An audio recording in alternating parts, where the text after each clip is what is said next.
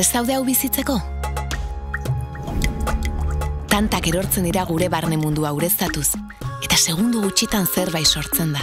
Azi egiten da, arnasa hartzen du, adarkatu eta indartu egiten da, evoluzionatu eta gainezka egiten du. Pentsa, ez dago mugarik. Irakurtzeak burua babesten du. Ministerio de Cultura y Deporte, Gobierno de España.